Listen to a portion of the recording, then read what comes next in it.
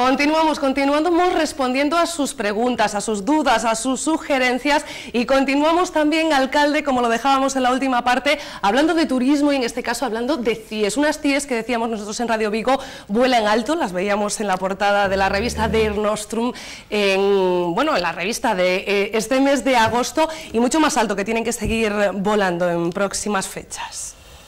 Sí, las CIES son una joya, la verdad es que las CIES son un paraje inigualable, ¿no? E que además Vigo mantuvo siempre con un enorme respeto. En Vigo siempre hubo un enorme respeto sobre las días, que es lo que permitió que llegaran hasta nuestros días como son, porque son unas islas en las que no hay edificación. Uh -huh. El camping, los dos edificios que hay allí. Exacto. Eh, yo, yo tengo una foto que me regaló alguien de allá de los años 30, 40, que es un fraile franciscano paseándose por la playa. Pues debe ser que allí había franciscanos, principios del siglo XX, ¿no? Porque no, no mandé a investigar mucho la cuestión, pero la foto es eso. Y, y, claro, es un paraje inigualable, medioambientalmente no hay nada igual a las Islas Cíes. ¿no? Van a ser patrimonio de la humanidad, en el otoño empezaremos ya la tramitación, pero por el camino y siempre van a ser un, una gran muestra de lo que esto, esto, esto es bueno. Alcalde, bueno no hay nada en el mundo como esto. Se hace muy duro estar encerrados en este plato viendo estas imágenes. Eh, sí, sí, sí. El, el lunes me, Cristina y yo vamos a dar un paseo durante el día hasta ahí y las vamos a disfrutar paseando. Yo también aprovecho y de vez en cuando las veo y veo cómo está aquello. Uh -huh. Voy a ver también la limpieza y cómo están. Pero claro, esto es municipio de Vigo, ¿no? Eh, decía que lo, los, los de otras zonas, y con el cariño, ¿no? dicen que es de allí, ¿no? Los de Bueu dicen que es de Bueu, los de Cangas dicen que son de Cangas, pero no, son de Vigo. Así son nuestros. Bueno, es normal que todos quieran tener normal, un Normal, es normal, es normal. ¿no? Y entonces son este paraje medioambiental, pero son una gran bandera turística. Porque en este momento en el turismo los ciudadanos queremos cosas eh, con cualidad, con calidad, uh -huh. eh, cosas distintas. ¿no? Venir a Vigo y poder ir a pasar un día a las 10 es un privilegio. Es un privilegio, es una cosa inigualable. Primero, porque la inmensa mayoría de los que vienen jamás montaron en un barco. Nunca. Vienen de Centro Europa, vienen de zonas de, de la península y no montaron un barco nunca. De hecho, hay mucha gente de Vigo que nunca fue a las CIES ¿eh? y tenemos que ir todos a conocerlas, que nos gusta mucho. Eh, después, eh, por tanto, un paseo en barco, 45 minutos, es precioso. ¿no? Despois llegas allí e aquello é excepcional. Hai zonas de sol, hai zonas de sombra, uh -huh. podes hacer todo. Hai un camping, se pode pernoctar, bueno, previos los permisos para estar allí, ir a ver los faros y sobre todo el faro alto es, es espectacular, subir aquello, que es un zigzag. Es decir, hay que caminar un poquillo. Tanta pendiente que hay que subir en zigzag porque si no es como quien escala una montaña. Y no va a ser aquí todos haciendo un lago por el faro para arriba.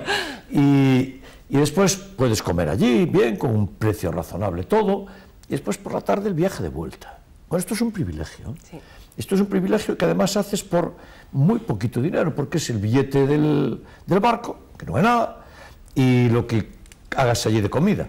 Encarecemos mucho. Nosotros damos unas bolsitas cuando te vas para que todos los residuos que lleves y hagas los metas en bolsitas y los traigas de vuelta. Y entonces al llegar al, al puerto hay allí unos contenedores y se tiran contenedores. ¿Sabes que todo el mundo lo hace? porque genera conciencia. Uh -huh. Y después, claro, tenemos algo tan extraordinario que hasta en la campaña nos ayudó la gaviota que robó aquella cámara ¿Sí? de filmar a unos turistas, la llevó, filmó y la volvió a dejar. Y tenemos esa cinta. Sí. Es único en el mundo eso. Es la primera vez en la historia que una gaviota roba una cámara que se llama GoPro, una GoPro, una sí. GoPro ¿no? que son unas cámaras pequeñitas, la roba, se va con ella, filma el acantilado, ve que no es de comer, la deja, pero la dejó en el acantilado, no la soltó. Eh, era una gaviota educada, alcalde. Era una buena gaviota, sí. ella, y, y estos son las tías, ¿no? Así que vamos a seguir adelante. En el otoño empezaremos el proceso. Llevamos dos años de, de pre-campaña y sirvió ya para que todo el mundo diga las tías lo van a conseguir. Fue muy importante lo que hicimos. Porque nosotros sabemos lo que hacemos, ¿eh? yo no improviso, yo sé bien lo que hago, y lo estudiamos bien, hicimos dos años haciendo que toda España hablara de las CIES, solamente hablar, aún no entramos, Ahora ya vamos a empezar en el camino, que es anotarla, hacerla y empezar a ver los criterios. Hay cuatro criterios medioambientales y las CIE, con uno te lo dan ya. Y las CIEs reúnen dos o tres de los poquitos parajes del mundo, porque tenemos especies de flora únicas en el mundo. Tenemos especies, eh, pequeños eh, lechos que están en las rocas que solo hay en las Islas Cíes. Y después eh, hay una parte también que es el criterio de conformación de la tierra. Tenemos una playa fósil, tenemos una playa estable allí, fósil. Y, después es, el tercero es paraje de una belleza inusitada. Bueno, no hay uno más bonito en el mundo. Eso ya no, tiene discusión. Por tanto, casi tres. Con uno es suficiente. Lo, lo, tenemos. Por eso vamos a medir bien los tiempos, porque eso tiene un tiempo, tiene un proceso, es, tenemos que pasar por la Junta de Galicia. Yo de la Junta no me fío, y ya lo digo. ¿Y saben por qué? Porque la Junta no quieren que sean las Islas Cíes. La Junta quieren que sean todas las islas de, las Cíes, Pontevedra y Villagarcía. ¿Y saben qué pasa? Que Pontevedra y Villagarcía no reúnen los requisitos. No es que tengamos nada en contra, que no lo tenemos, ¿no? Pero las Cíes sí decir, el paraje natural extraordinario son las CIES, pues porque la isla de Ons está habitada y por tanto ya no tiene los elementos de especies únicas y, y, por tanto, no, no, nosotros vamos a hacer CIES Patrimonio de la Humanidad. Y claro, yo sé que no contamos con la simpatía de política de la Junta, hay elecciones y todo puede pasar, ¿no? Pero es igual, lo vamos a conseguir. Desde ahí Gobierno de España, desde ahí lista de espera, desde ahí UNESCO. Por tanto, es un proceso reglado largo. Uh -huh. Por ejemplo, hay un momento en el que tiene que estar un año en una lista de espera y está regulado. En el momento en el que entra la UNESCO, tiene que estar un año allí, en stand-by. ¿Para qué? Pues para que todo el mundo pueda observar, comprobar, opinar, conocer el producto, suma, conocer las Islas Cíes. El proceso para sacarlo suele estar entre 3 y 4 años. Y empezaremos en este otoño y lo vamos a conseguir y a partir de, poco tendremos CIES Patrimonio de la Humanidad. En este momento el barco que ganó la Copa del Rey, el barco de Pedro Campos, lleva en la vela CIES candidato a Patrimonio de la Humanidad. Y salen todas las televisiones del mundo. Nos lo da gratis. Yo se lo agradezco mucho y lo quiero decir aquí en público, que son muy bienvenidos, Pedro Campos y la tripulación de su barco, que es Mafre, muy bienvenidos porque nos están haciendo una programación de CIES extraordinaria con coste cero. Alcalde, pues eh, a partir de octubre esperamos eh, tener buenas noticias. Este lunes yo ya sé que usted no da puntadas sin hilo, va a hacer muy buen tiempo, o sea que ya nos contará cómo se encuentran las islas. Importante porque va a hacer buen tiempo durante todo el fin de semana. Y ojo, que ahí está el marisquiño. Enseguida le voy a preguntar por este asunto, porque sé que hay cambios, por ejemplo, en las líneas de, autobuses para dar servicio en todos los puntos de la ciudad a los que se quieran acercar aquí al puerto, también en Prazado Rey, donde van a estar los conciertos. Pero antes vamos a seguir con preguntas. Nos volvemos a preguntas vía televisión con Ángeles. Lo que tenía que hacer una petición de que arreglasen un poquito las aceras que prepararon, que están las, las baldosas todas levantadas. ¿De, las calles humanizadas? Sí, de las que humanizaron. Quedó eso, eso desde luego quedó fatal. No quedó o sea, que, hace falta más mantenimiento en esas calles humanizadas. No, lo que tienen que, que asegurar bien las que están levantadas, porque a veces vas caminando y tropiezas y te vas hacia adelante. Sí, tienen que vigilar un poquito eso. Por lo menos retocarlas. Ángeles no nos acotaba en ese momento en qué calle en concreto, alcalde. No, bueno, esto... eh, a ver, eh, Vigo está... Tenemos humanizadas en este momento 700 calles.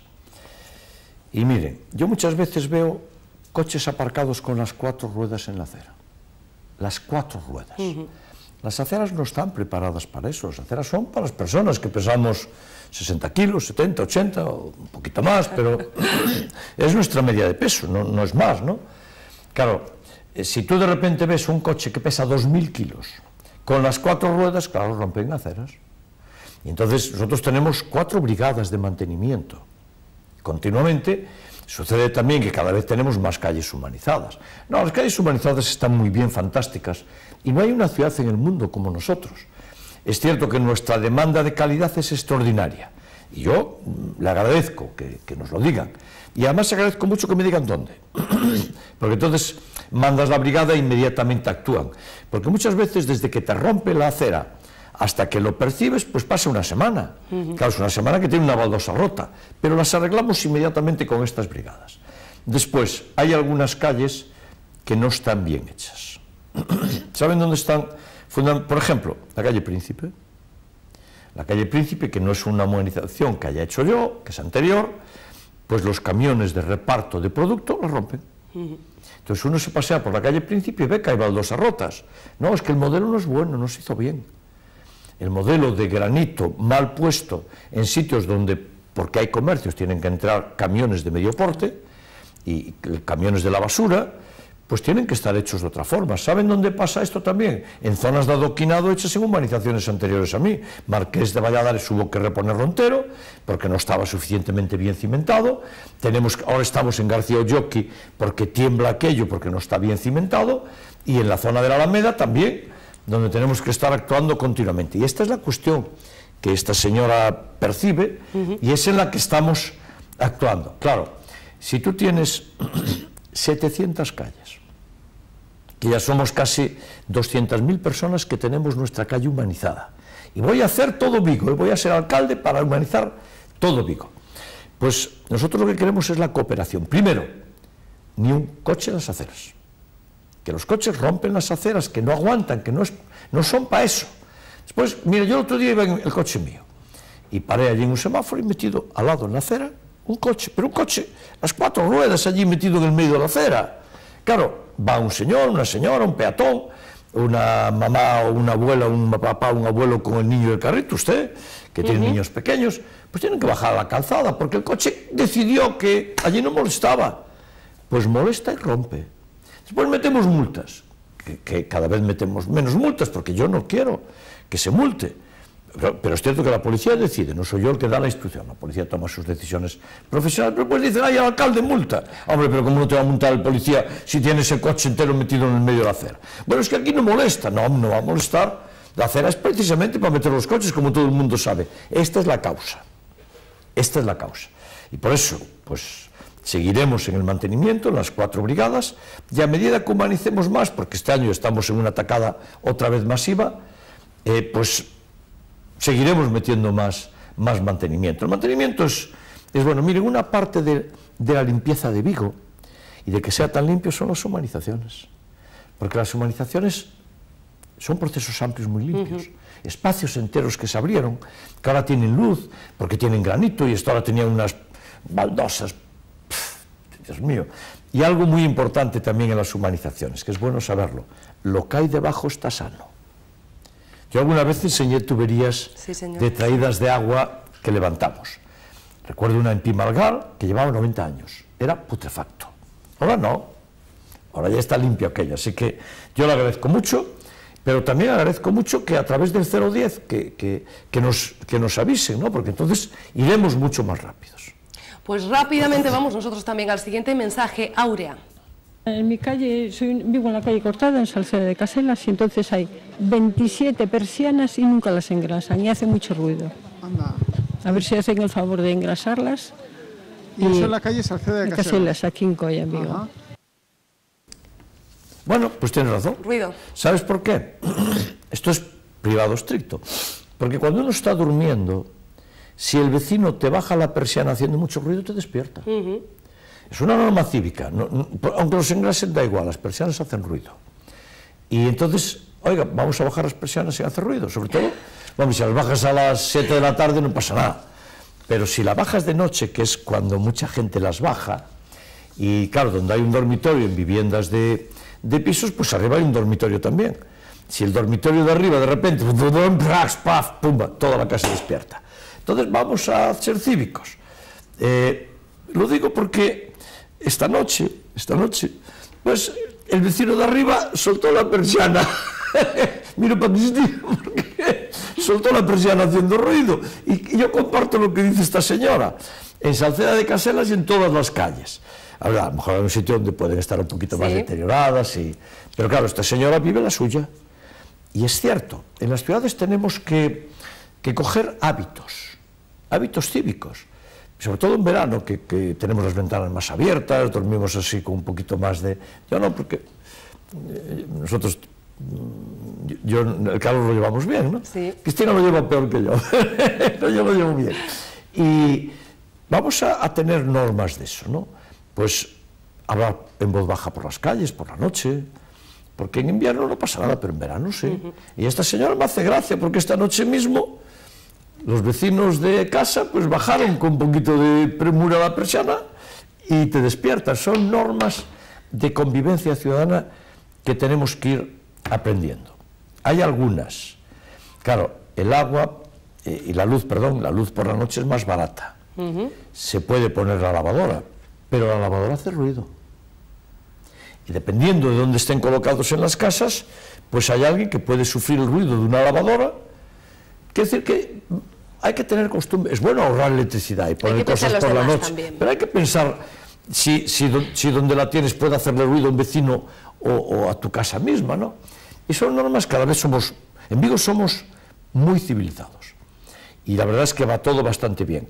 Hay algo que hay que seguir presionando, los excrementos de los perros. Los perros son unos animales magníficos y les queremos muchísimo. Pero hay dueños que no los atienden. Son los dueños y los perros no tienen culpa de nada.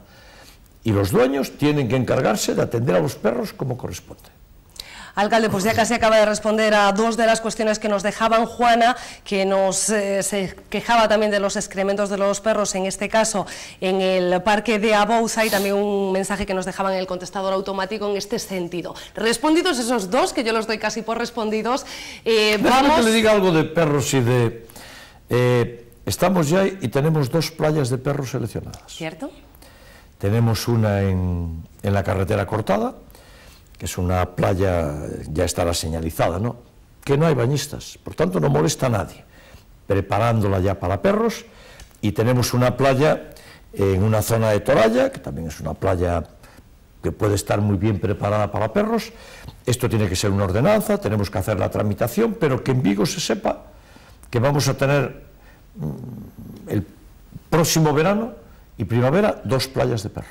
Estoy segura de que muchos espectadores se acaban de alegrar también de esta noticia y de saber que ya en 2017 podrán llevar los perros esos dos arenales. Le decía también que quería hablar de deporte. El Celta va a volver a casa con un trofeo eh, desde Italia, después de la gira italiana y después de haber ganado ayer al Salouso, Sassuolo, perdón, siempre me cuesta un montón este nombre, y de haber empatado con el Milan. La primera vez que un equipo extranjero participaba en ese trofeo. Y un espectador nos habla de otro trofeo. Es el caso de Ventura, que nos pregunta porque después de tantos años el prestigioso trofeo Ciudad de Vigo, que antes llegó a ser triangular y últimamente a un solo partido, pues no se sigue celebrando. Bueno, el torneo Ciudad de Vigo iban mil personas, ¿eh? como mucho dos mil.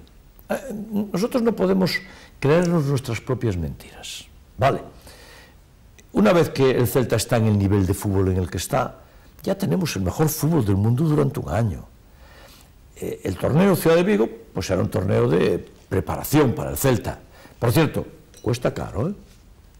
porque el torneo de Ciudad de Vigo puede costar 100.000 euros. Y claro, la cuestión es, ¿qué es mejor?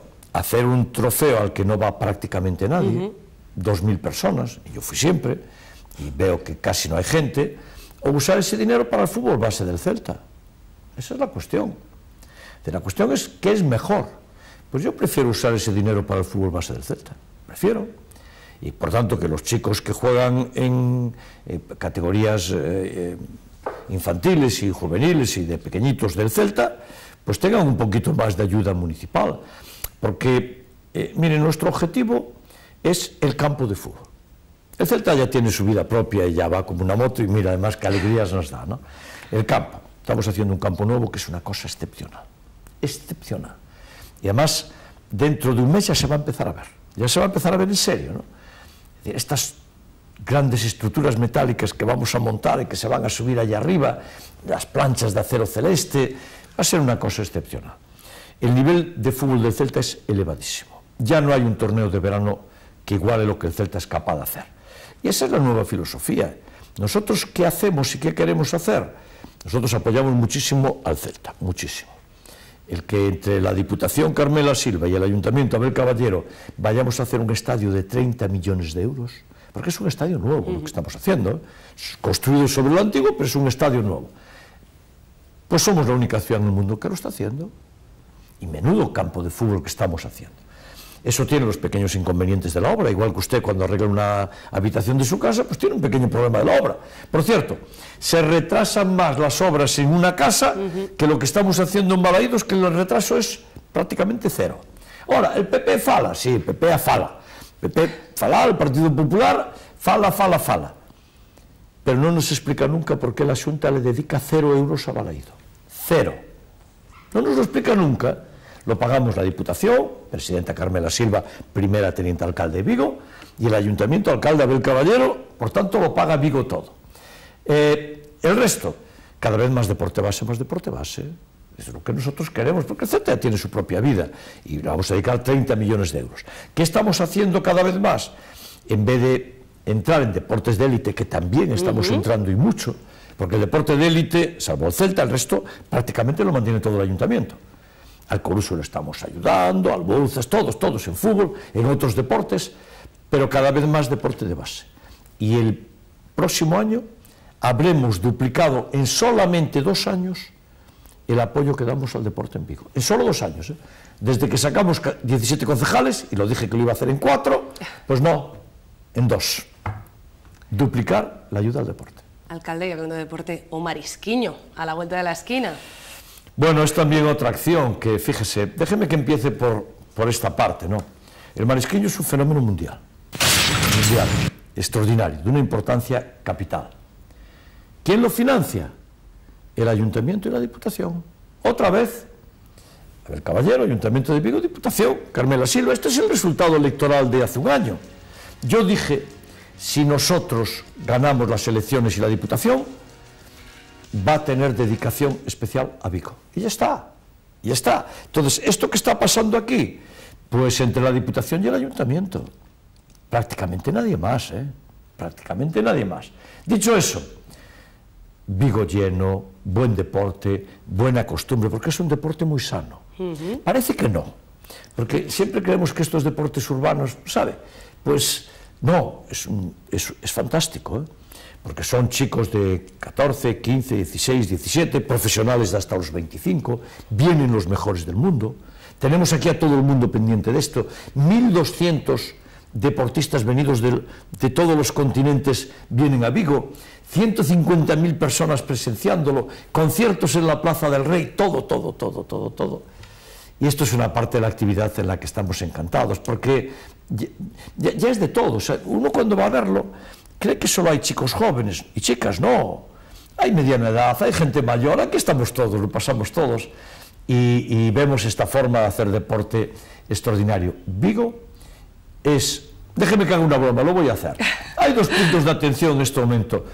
Río y la Olimpiada y Vigo y el Marisquillo. Y, todo el mundo, ya está. Ojo, que lo hablábamos en la presentación, Claro. que desde que en Japón 2020 van Sí, a ser o, em, Olímpico. olímpico, Olímpico. el skate, hay muchísimos países pendientes de nosotros. De hecho, se va a retransmitir por streaming en 50 países y en directo aquí en Localia Vigo Televisión. Déjame también, déjeme también que señor. haga la cuñita, Sí, porque el sábado a partir de las 3 y media y el domingo a partir de las 5.45 podrán seguir también a través de esta sintonía, a través de esta cadena, el es que Localia, marisquiño. esta emisora es una gran emisora de televisión.